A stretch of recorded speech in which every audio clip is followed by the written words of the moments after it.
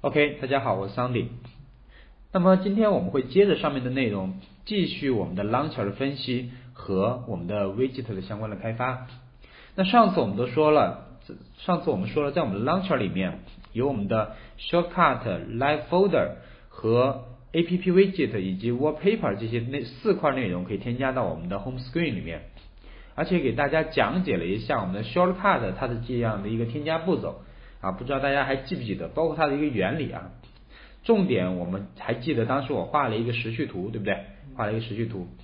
那么在这个过程中，在这个过程中，我们的 Shortcut 它的整个机制，我们也通过在 Launcher 里面去跟踪了一下，所以我们就知道，OK，Shortcut 实际上是什么呢？在添加的时候，它是启动了我们那个 Activity 的，然后你进行一个返回值，最后是由谁来呈现呢？是由我们的 Launcher 呈现在它就这个桌面上。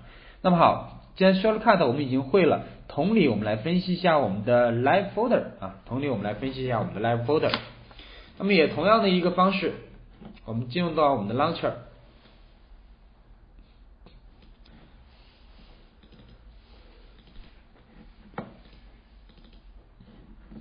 在 Launcher 里面，我们还是从从我们上面来找一下，哎，Live Folder 我上次给大家演示过它的效果没有？没有演示过效果是吧？好，那我们先看一下什么是 Live Folder。我们启动一个模拟器。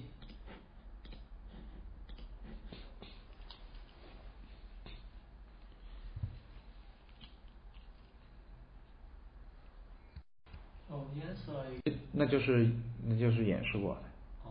OK，那 Live Folder 实际上就是获取一个列表嘛，对吧？还记得吧？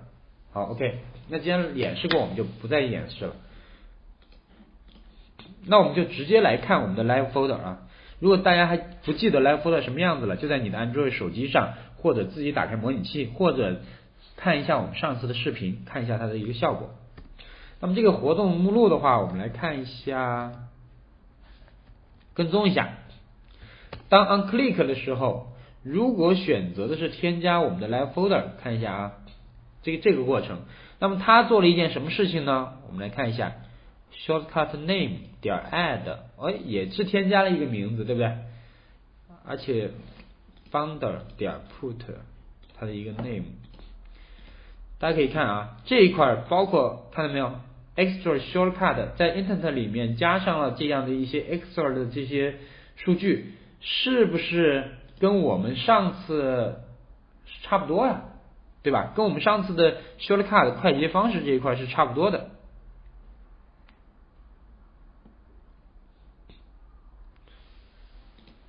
看来确实是差不多的啊。那么，OK，那这些内容是差不多的，我们就来看一下。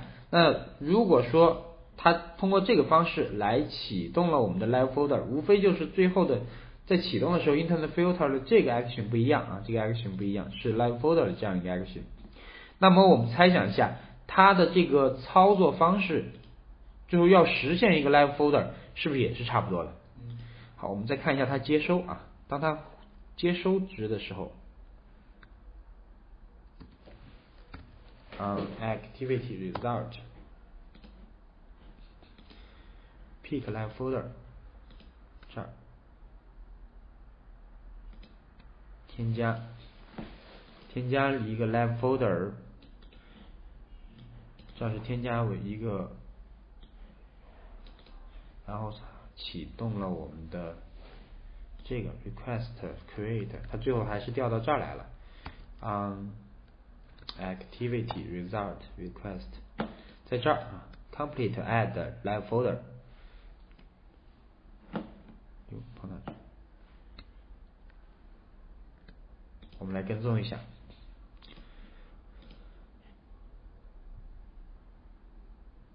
，intent 传入了一个 intent 对象，得到它的一个图标进行一个显示，把它添加到当前的这个窗体上。啊，那这些内容其实都是差不多的。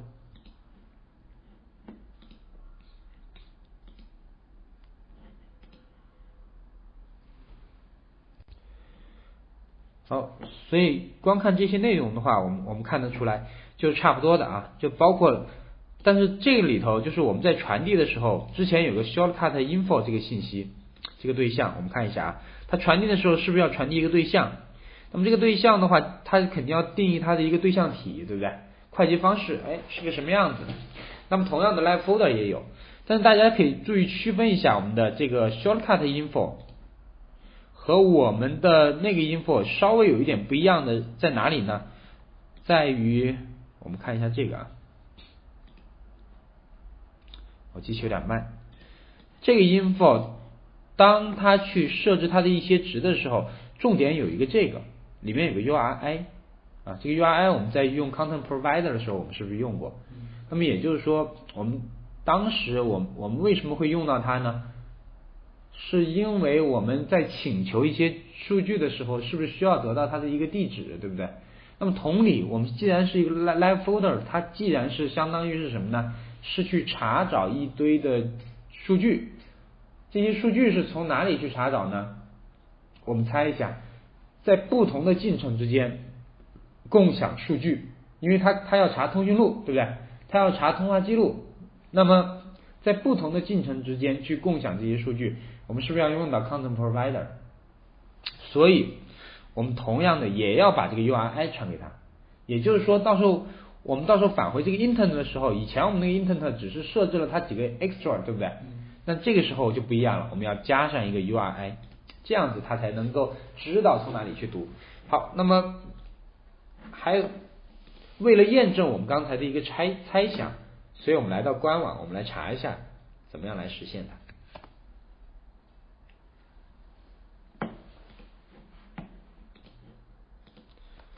Live folder，搜一下啊，偷偷懒搜一下就可以了。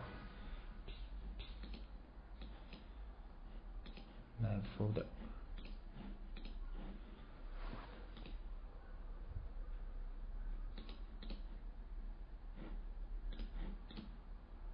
好，我们直接看看一下它这个代码。这个也是在这个 activity 里面，在 live folder 这个 activity 里面。首先，它得到传过来的这个 intent，这个 intent 是通过谁传过来的？是不是通过我们当时的那个 picker，对吧？就是 launcher 启动了 picker，然后 picker 启动它，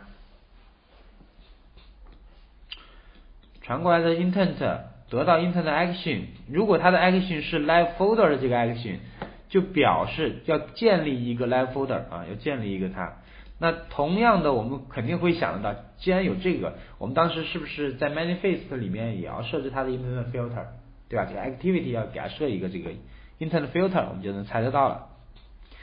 设置一个结果，这个结果，呃，它的号啊，它的 request code 是我们的 result OK，然后它传入的 intent 对象，我们来看一下，它是在这里去设置的。首先要设置一个它的 name。呃呃，data 就 URI 传进来，我们都知道 data 就是 URI，然后它的以几个 extra，之前我们 shortcut 的时候，我们是不是直接用什么 extra 什么 shortcut 什么什么 name icon 这些东西，对不对？那么现在我们就开始用它了。那么好，我们大概知道了，看了这个我们就验证了我们的一个猜想。好，现在我们来进行一个实现。比就拿我们上节课的这个例子。这个当前 demo，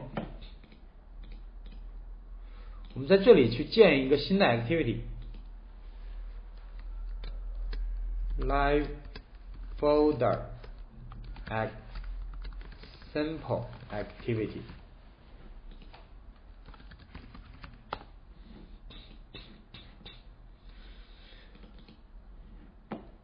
重载一下，On create。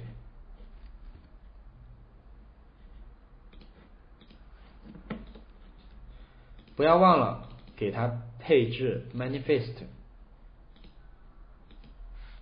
那我 copy 一下，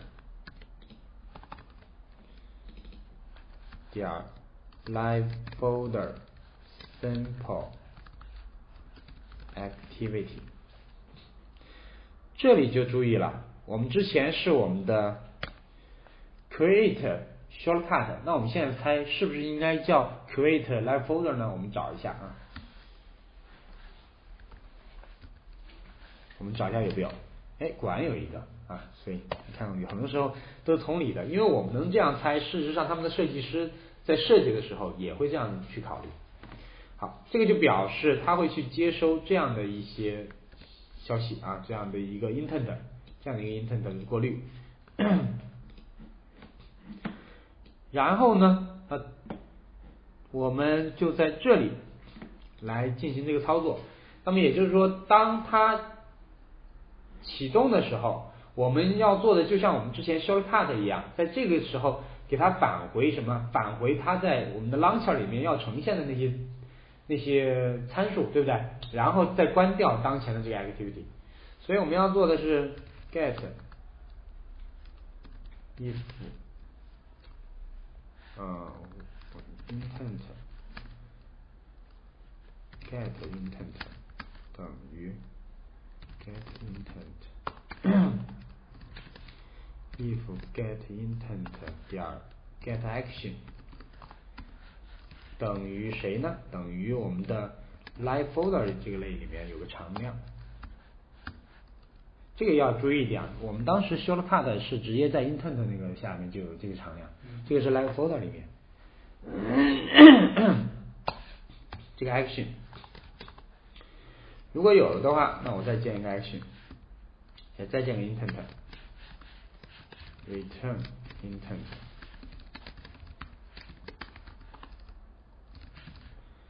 我们呀。我们给它设置一下啊，设置的内容包括什么呢？其中 set 它的 data 这个 data 要设置它的一个 URI 对不对？那么这个 URI 的话，比方这个就取决于是什么呢？这个就是我们的 content provider 的那个 URI，还记得吧？那那个样式，什么 con content 冒号两斜杠那个东西。那好，现在的话，我我们当然我们如果要用到我们自己的，你就用你自己的 URI 就可以了。如果你用系统的 content provider，你就用系统的。比方说，我用一个系统的吧，点 content 得到联系人啊这样的一个 URI。当然这个 people 已经过时了啊，但是我比较习惯用这些老类。有的时候最新的是把它们全部集成在我们那个 con。context con contract contract 里面，嗯，然后继续给它加上内容，return 点 put extra，这 extra 里面就会有有哪些内容呢？我们还是找一下，记不清楚没关系，extra 看一下。啊，首先是名字，好，我给它起个名字，比方说叫 Sunday Live Folder，这是一个，然后呢，再给它设置图标，对吧？当然我们说了，图标如果不设，它会有默认的，对吧？我现在我就不设，我到时候用它默认的试一下。还有什么呢？显示模式啊，这个显示模式主要是指是什么？可以看一下这边是 list 的形式显示还是 grid 就九宫格啊？是列表型显示还是九宫格？那我们就选用 list 吧。Folder display list return intent put extra 还有一项，这一项是什么呢？叫 base intent。那么这个 base intent 其实顾名思义了，是不是就是要传入一个 intent 的对象？这个 intent 的对象有点像我们什么？有点像我们当时 shortcut 的时候，我们是不是也用过？就是点击它这个图标之后会启动那一个，对吧？啊，这个很简单。当然，我们这个我就不用了吧，这个我们一般可以。我这儿我这儿我就不用它了。好，我们来看一下，这就是我们一个基本的定义啊，这是一个基本的定义。然后我们就把它进行一个返回，set result result OK，把这个对象给返回去，不要忘了 finish 当前的 activity。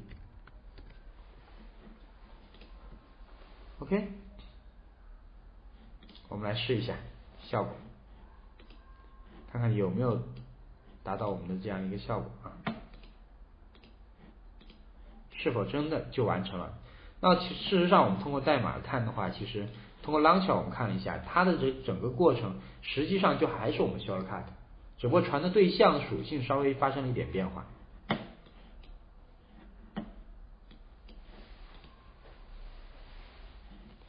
好，我们在这儿添加一下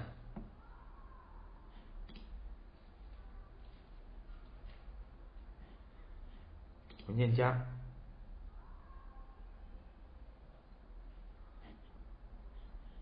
嗯，就它啊，我们这是我们的 Launcher Demo，我们点一下，然后这就出来了，Sunday Live Folder 对吧？但没有没有显示完成，我们点一下看一下效果，哎，是不是达到我们想要的效果？是不是通讯录就出来了？虽然只有一个人，这就是我们想要的效果，对吧？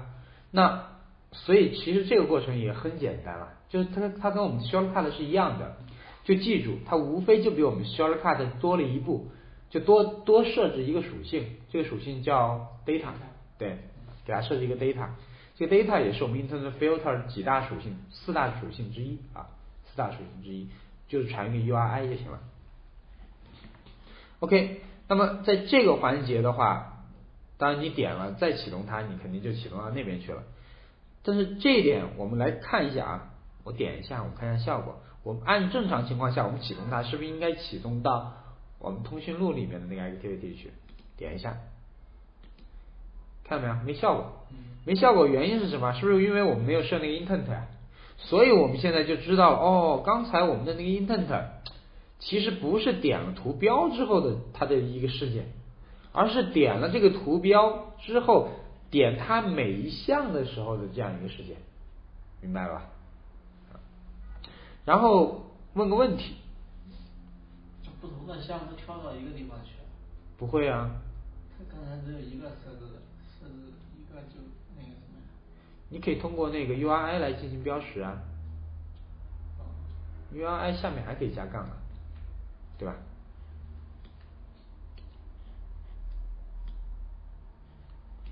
然后在这里的话，就是，在这里我提一个问题。这个这个窗体是在哪儿生成的？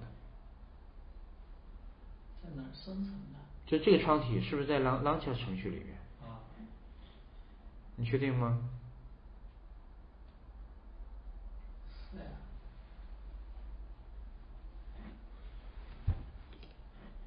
但是这个，那你觉得是哪一个类呢？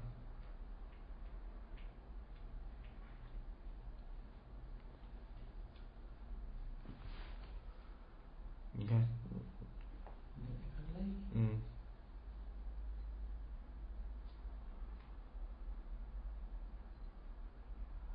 通过那个什么，它有一个单词。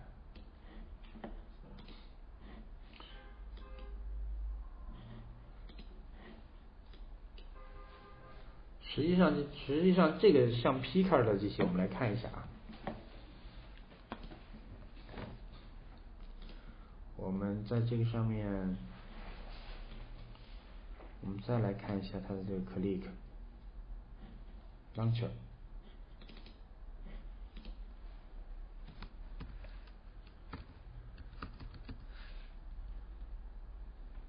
它 channel 单方的。